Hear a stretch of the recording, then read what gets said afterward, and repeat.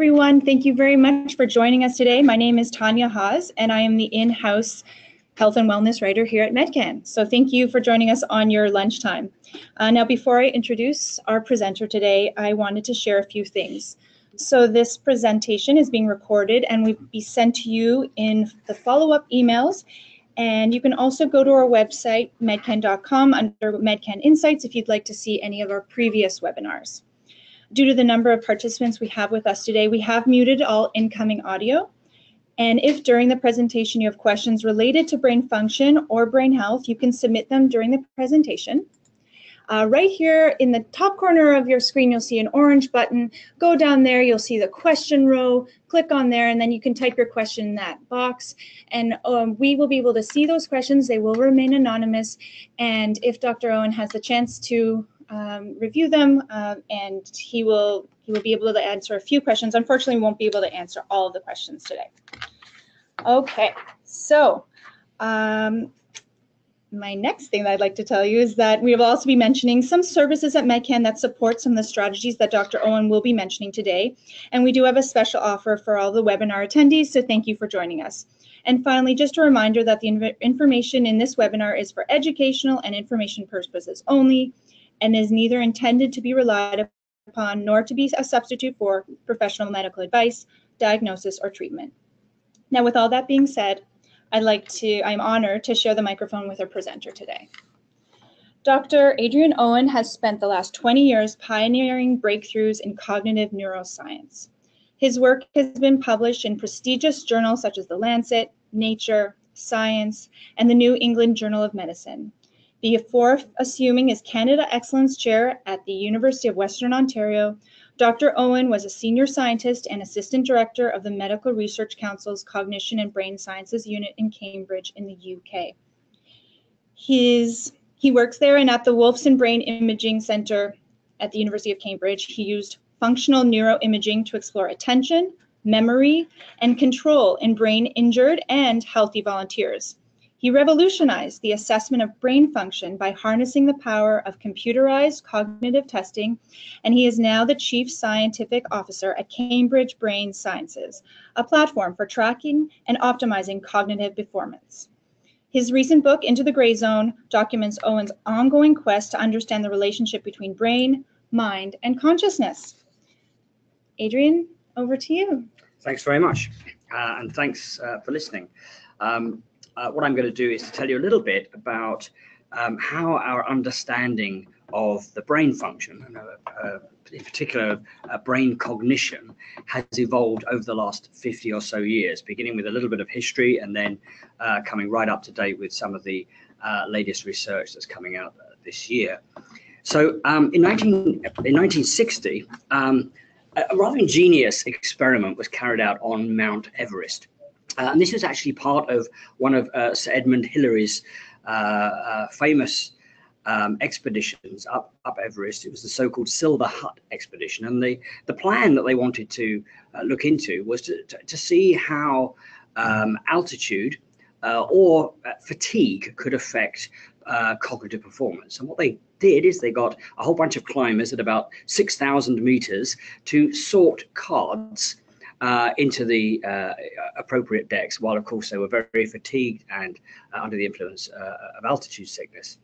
Uh, and the results of that experiment were uh, that, in fact, you, you can sort cards at high altitude, um, but you are just slower to do it. Now, the reason I started my presentation with this example is that almost all cognitive testing, that includes things like IQ testing and, and other types of brain assessments, um, derive from this sort of idea, and that is that what we're trying to do is measure performance. And if you uh, look at some of the pictures below, these come from the applied psychology unit where I, I worked for 16 years. Uh, they're things, uh, other types of uh, processes like divided attention and vigilance were, were looked into. And uh, the way these ideas were dreamt up at the time were people would say, well, we need people to, uh, we need to be people to be able to monitor, uh, say, four clocks at the same time. Let's see how well people can do that under various sorts of stressors. The problem with all of this is that uh, we're 60 years on now uh, from then, and there's been 60 years of uh, neuroscientific advancement. And uh, many of our ideas and ways of, of, testing cognitive performance have really failed to take that, that those 60 years of neuroscientific um, advancement in, into consideration. The reason that's very important is because if you just measure performance, if you just say measure divided attention, it doesn't tell you very much about how we might perform on other tasks. If you manage to improve your attention, does that make you any better at sorting? Hmm. Whereas if we can say understand the brain processes that that drive these abilities that allow us to do things like sort cards or divide our attention or maintain our vigilance, then we can make predictions about how improving those brain processes may, for example, improve our performance on lots of different things. And here's a another historical example that I think illustrates this rather well. So I'm sure many of you will have heard of the case of Phineas Gage. He was a, a, rail, a railroad worker in the early 1800s who uh, was tamping dynamite, uh, and there was an explosion, and the tamping rod uh, shot straight through his brain, through his brain and out the other side. It went up under his chin, as you can see from this reconstructed uh, MRI scan, uh, and left uh, the top of his head. Now, surprisingly, Phineas Gage survived, uh, and actually he survived for quite a number of years after that. But his life changed quite dramatically. Um, basically, he lost his ability to make any sensible decisions. So he started gambling. His marriage fell apart. He uh, basically his whole life fell to pieces, but not in any way that could be assessed by a single test. It was actually very difficult uh, for the people looking at him to put their finger on what had happened to Phineas Gage. And the reason is because he'd had a, a large piece of his brain removed, and that part of the brain is involved in all sorts of different cognitive and, uh, and, uh, and social uh, processes, all of which were sort of disrupted in small ways, leading to uh, his life basically falling apart. But this was not something that you could test with a simple test. But now, um, 150 years on, we know a lot more about the, why the damage to Phineas Gage's brain caused the problems that it did. Uh, that's me uh, 30 years ago, uh, in 1988. Uh, I was in Cambridge in the UK. Uh, and what we did is we, uh, as part of my PhD, set out to design tests not to measure aspects of performance, the sorts of things I've just been describing, but to measure specific aspects of brain function. Uh, and uh, the idea here was to try and develop tests that could uh, not only uh, assess different areas of the brain and what they did, but also work out um, uh, what makes performance bad on these tasks, what types of brain uh, impairment might make performance bad, and perhaps how we could even enhance performance. Now, all of these tests were based on the neuroscience of the time, so they weren't in, they weren't based on 50 year old cognitive tests that have been conducted up Mount Everest. They were conducted on uh, neuroscience. And here's one example. This is what we call the token test uh, today.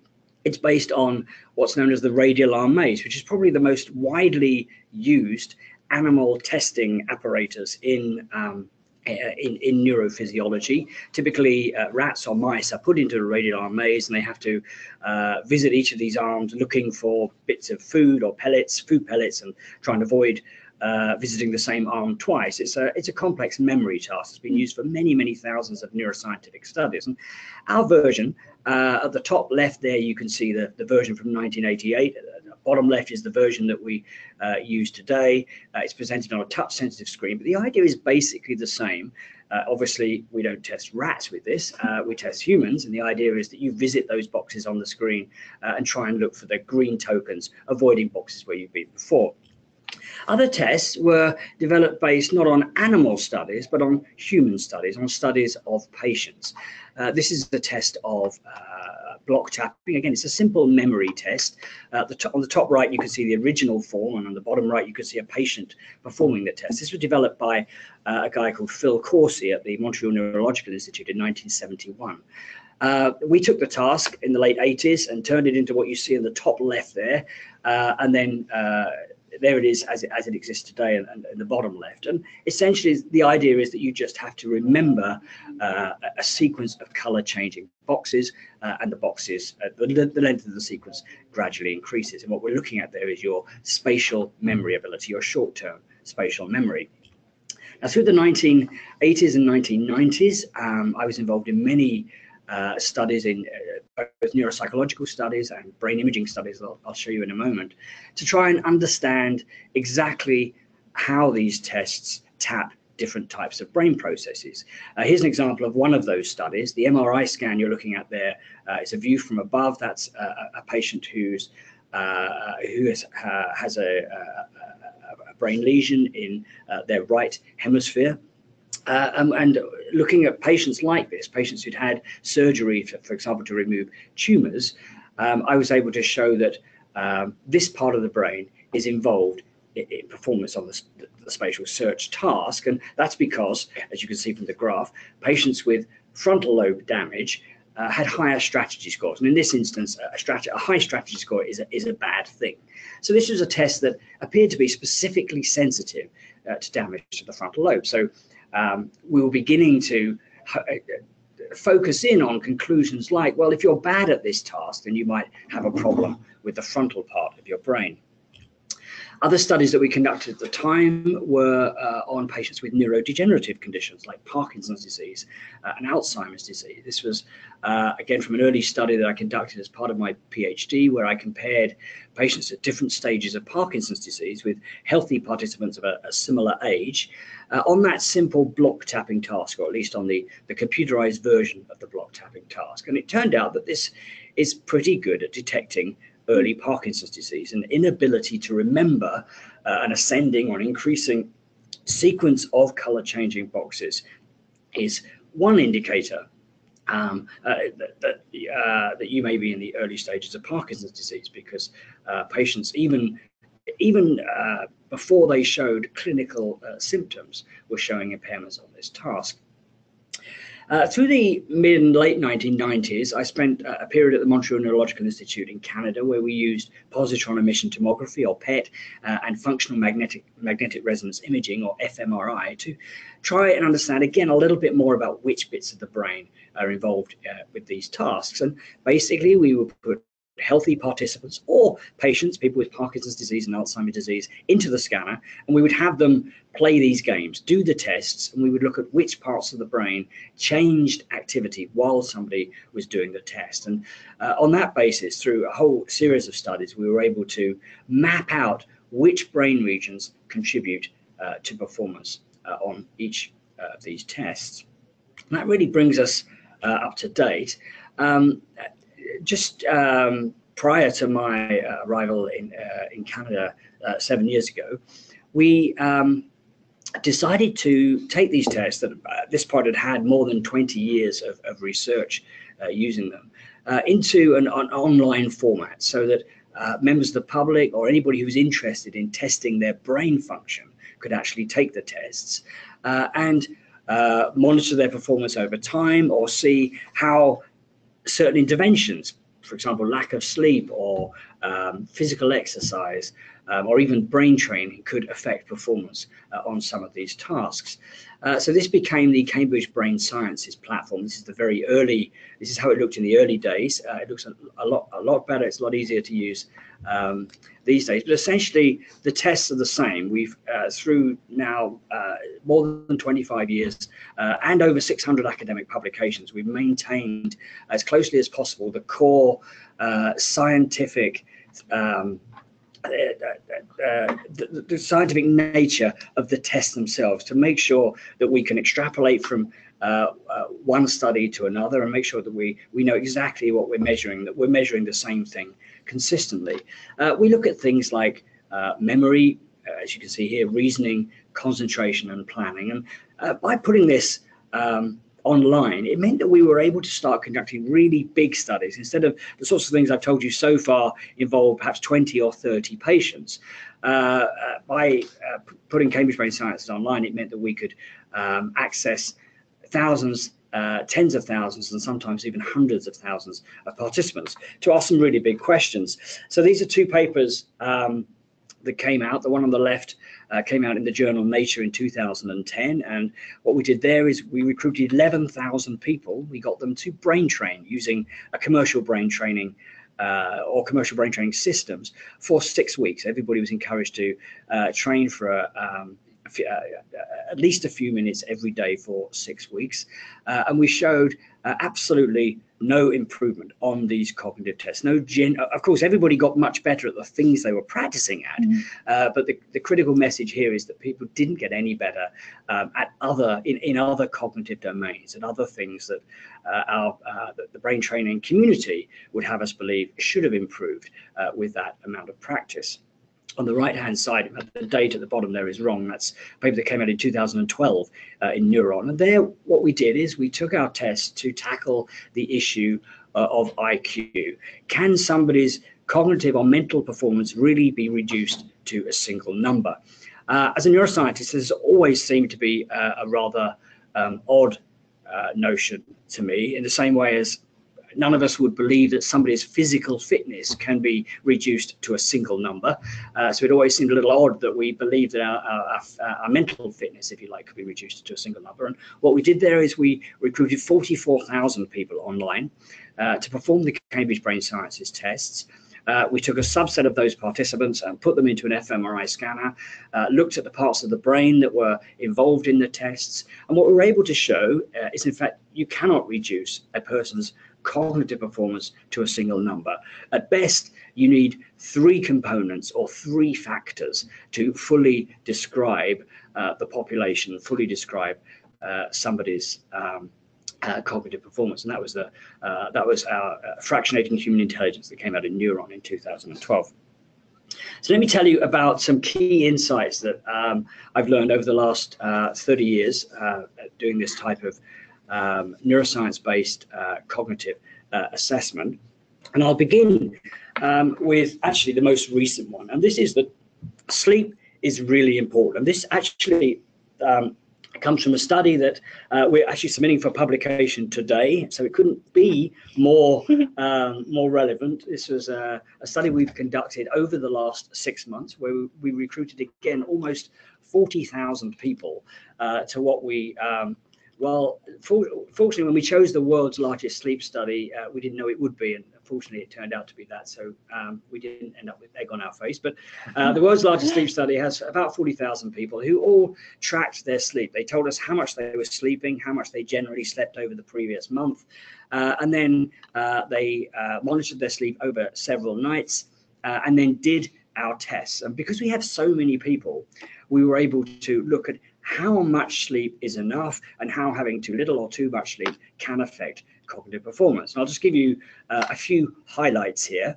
The first one is probably not very surprising to most of you, and that is the absolutely um, the optimal amount of sleep is between seven and eight hours. So in fact, it's 7.6 hours uh, is the uh, on average is how much sleep you should get to maintain uh, your best possible cognitive performance. What may be more surprising to some of you is that both too little or too much sleep can affect that. So it's not only, and I think we would probably all, all know already that too little sleep uh, is, is not good for your cognition, but also too much sleep uh, actually also reduces your ability your ability to do things like uh, reason uh, and perform complex problem solving the next day. Um, we looked at people, for example, who reported uh, surviving on average uh, on about four hours sleep. And it turns out that those people were worse, significantly worse on every single measure uh, than the participants who reported getting between seven and eight hours.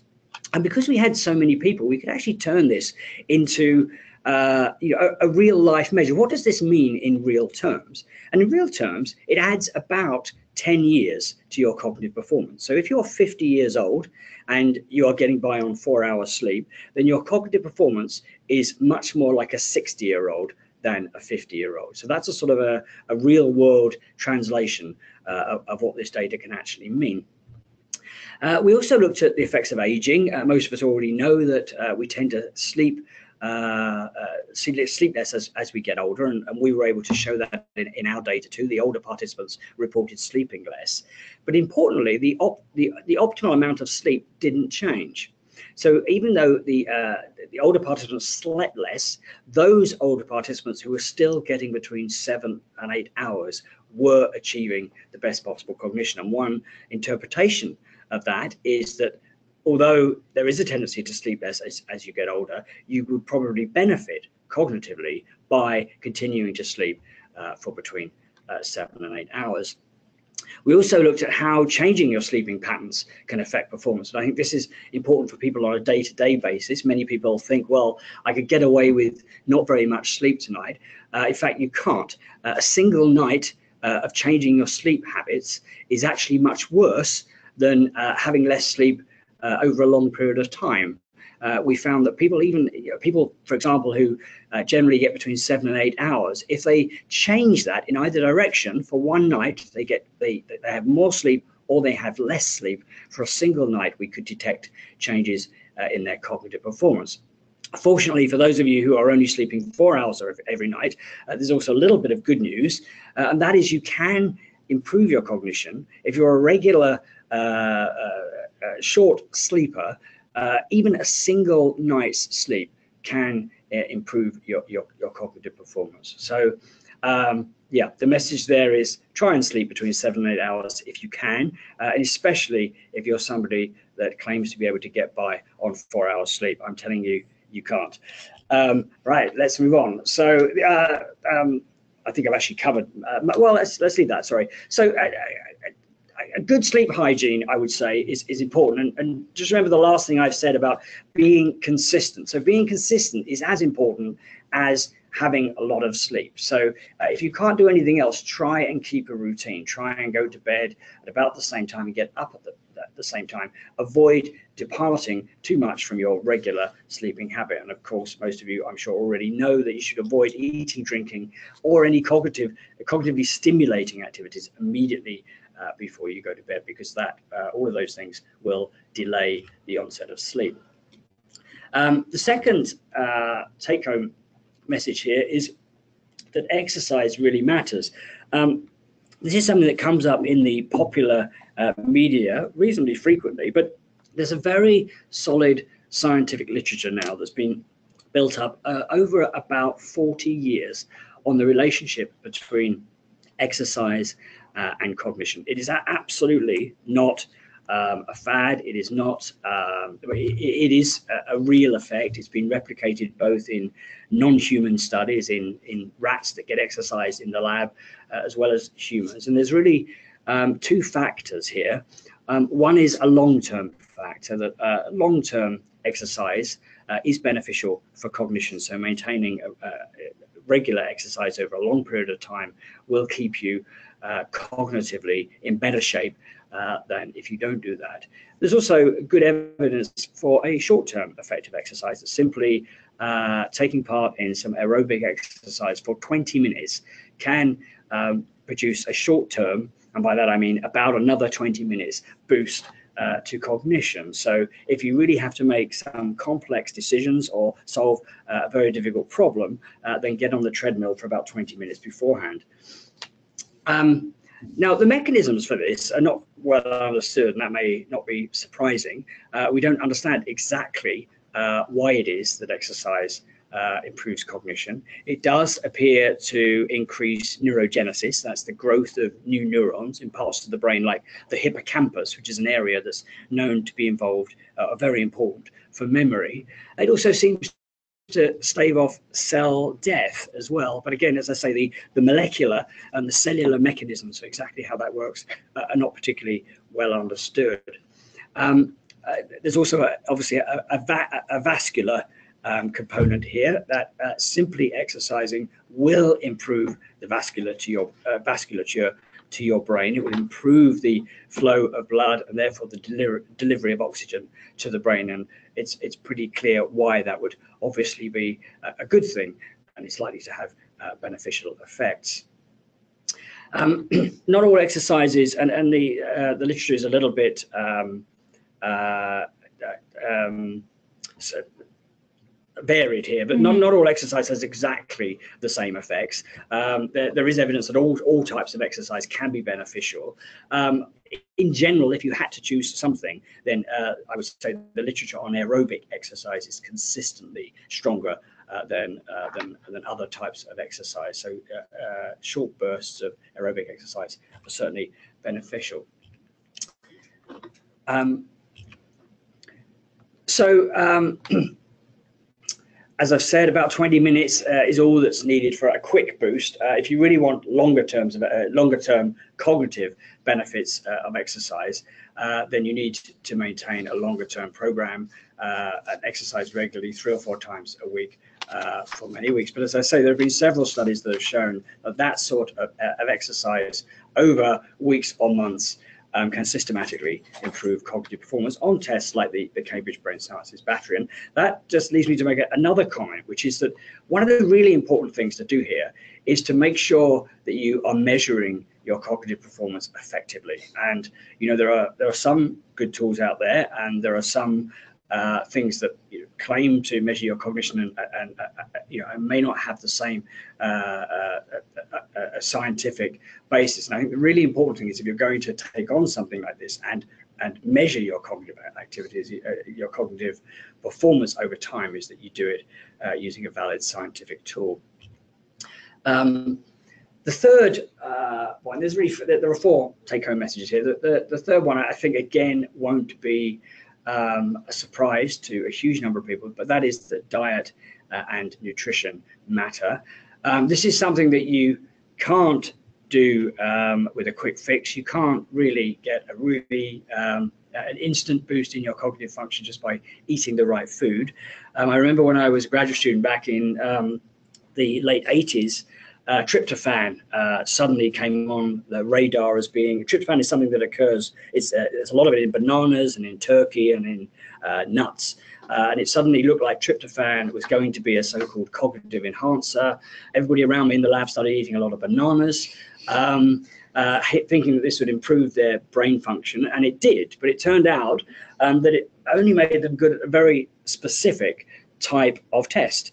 Um, the effects of tryptophan really are quite specific to a type of uh, memory task. And in fact, um, many years later, looking back, we now know that, um, and this is the case for many uh, single effects like this, uh, uh, tryptophan can actually make you poorer at some other tasks. And that sort of underscores the importance of really understanding the underlying neuroscience. And now we know a lot about how tryptophan works in the brain. We know how tryptophan works in different parts uh, or affects performance of, uh, of tasks that depend on different parts of the brain. And, uh, you know, unfortunately, just eating a lot of bananas isn't going to make you really smart.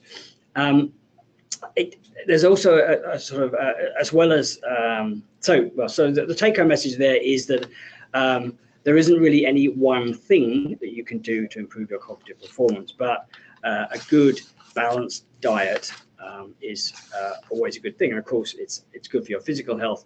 Uh, it's also good um, for your uh, uh, for your mental health.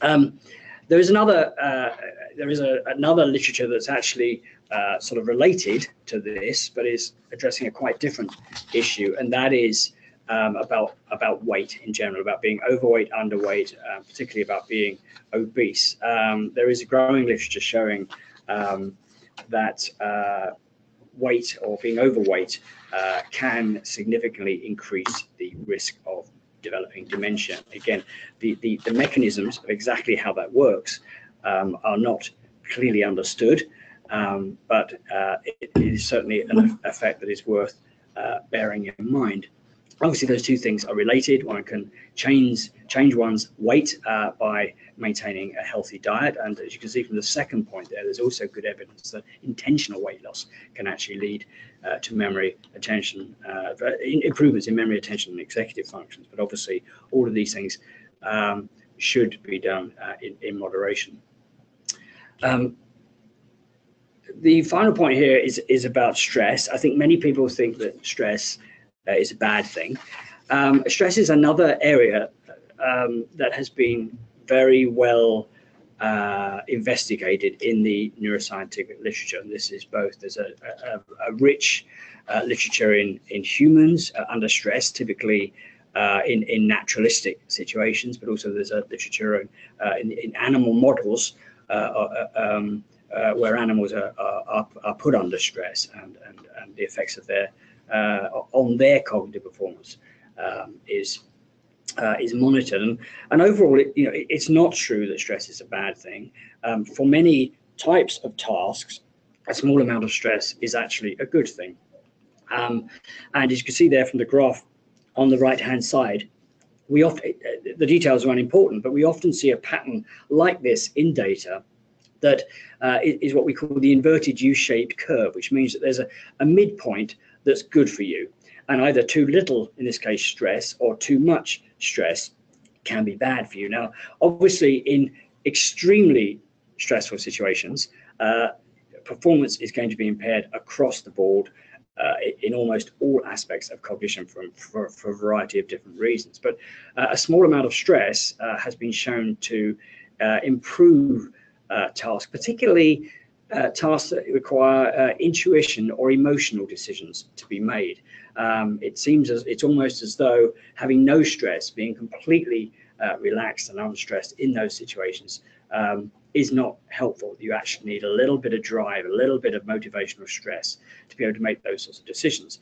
However, uh, tests that require a lot of calculation, a lot of thought, and what we call working memory, that's a type of uh, short-term memory where you only hold something um, in memory for as long as you need it. Uh, things like this uh, that we know are very dependent on the frontal lobes of the brain uh, seem to benefit from actually having uh, not much stress. Um, so it's better to be completely de-stressed in, those, in those situations. So um, when you're uh, when you're looking at reducing your stress, obviously if, if, if, stress is a big factor in your life, then you should try to reduce it. Uh, try and find a level that you're comfortable with and that fully uh, optimizes your uh, uh, your um, cognitive performance. And obviously, these things are related. there's a very strong relationship between sleep and stress. People that generally don't get much sleep tend to be more stressed. Similarly with exercise. Um, uh, a moderate amount of exercise can certainly uh, de-stress you. And this is one of the reasons why um, we use tools like Cambridge Brain Sciences to do to do these massive studies with hundreds of thousands of people. Because one of the things that I've learned over uh, the last 25 or 30 years is that you you could do a lot of really cool studies in the laboratory involving functional neuroimaging or you know sophisticated um, tools, but a lot of effects are so subtle or are so or so complex um, in their the way that they involve the interaction of many factors that you can't really detect them uh, by simply putting 30 people into a brain scanner in a lab. And I think uh, the effects of or the relationship between sleep, exercise, and stress is, is a really good example of that, where we have these three factors that are all known to affect cognitive performance. If you can optimize all three, uh, then you will undoubtedly uh, benefit cognitively. Uh, but we're only now, through these massive studies of large numbers of people, starting to understand exactly how those three things interact together and how actually uh, you, have got to keep them all working together um, uh, in order to maximally uh, optimize uh, cognitive performance. And I think that's something that's still very much uh, a subject of intense neuroscientific scrutiny. I'll, I'll, end by just telling you um, what doesn't matter. Um, in, in a way, um, one of the things I really enjoy about doing science is uh, debunking things um, because once, in many ways, it's much easier to show that something isn't true uh, than to keep trying to show uh, that something uh, is, and there's a scientific principle behind that. Um, the take-home message here is really to avoid quick fixes, and this is how I've gone about my uh, scientific uh, life really for most of my career, which is to, if somebody asks me a question like, does brain training work?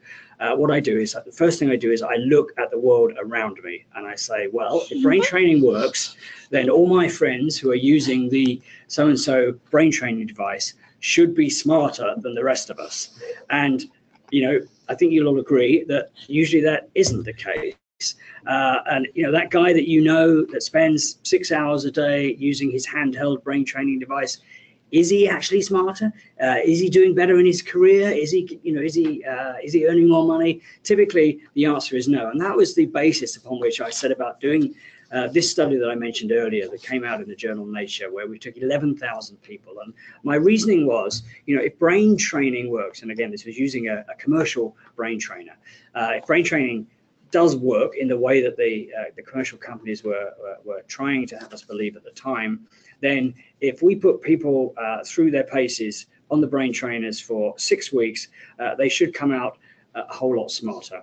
Uh, and that isn't what happened, as I, have said earlier. As, as, I said earlier, in fact, um, uh, we saw no generalized improvements at all in any test. So here, yeah, if something comes onto the market and somebody says, this is the miracle, take this pill, uh, log into this website, you're going to be smarter in a week and a half, uh, then they are usually, uh, or they almost certainly don't have the scientific um, data to uh, to support that. And the first thing I would say is uh, ask for the peer-reviewed literature, ask for the papers, ask for the data, uh, uh, and make sure that something has been thoroughly scientifically investigated and proven to be effective before you invest any time or energy in it. So here's your uh, key takeaways. I hope this has been useful to people. Um, uh, the Advances in Cognitive testing, and this is an ongoing quest, but they have allowed neuroscientists like myself to learn about how to maintain and optimize brain health. As I say, this is a work in progress. Uh, the more data we can collect uh, from tens, hundreds of thousands of people, the more we will understand the relationship between uh, brain, uh, the, the, brain and all the cognitive processes uh, that we are able to do in everyday life. Uh, like everything else, quick fixes don't generally work. Uh, smart lifestyle choices do. Uh, and this is a long term thing, although something I should have said earlier that I haven't. Uh, there's a lot of data showing that it's never too late to start. So, this is not something, if you haven't been exercising your entire life and you're now 52 like me, it's not too late to, uh, to get going.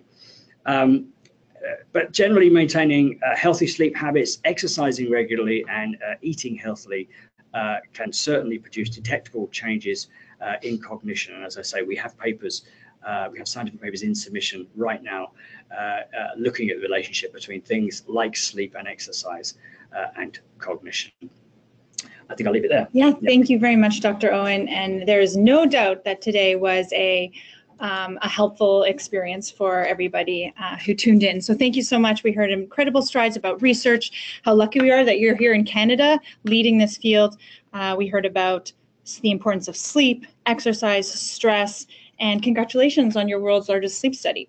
So I'm just going to move, if I could just get the screen for a moment. Uh, we're going to move, I'm, while um, Dr. Owen um, and his team are reviewing the questions, I'm going to tell you a little bit about mental health um, well-being at MedCan. Uh, and MedCan is, if you're new to us, we are a global health inspiration company, and we offer services in a variety of fields, especially the ones that Dr. Owen mentioned today.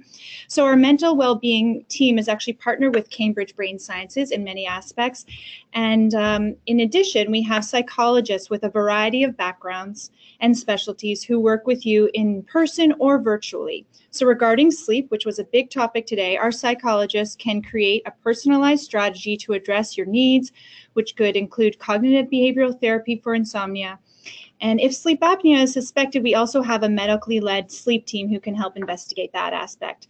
And as we also heard today, our mental well-being is critical component of our overall wellness. So the psychologists at MedCan can help you manage both short-term, recurrent, or long term sim- symptoms and they are well versed in stress management depression as, well as well as relationship counseling and related challenges now um, dr owen briefly spoke about uh, nutrition. Yes, so uh, as we heard, we, we, we want to be careful about eating too many bananas and turkey, uh, tryptophan. However, um, he did mention that the Mediterranean diet is important and, you know, plant-based uh, diet and a lot of, you know, common sense that we hear in the popular media. But if you're having trouble making that actually happen in your life. Perhaps you need some assistance with behavior change. We have an incredible team here at MedCan in nutrition, and we have a variety of programs depending on what you're looking for. So if this interests you, we do have an exclusive offer for webinar participants today. 15% uh, off uh, your preferred program, and as you can see on the screen, there are several different programs, including for performance, if you're an athlete, or for children.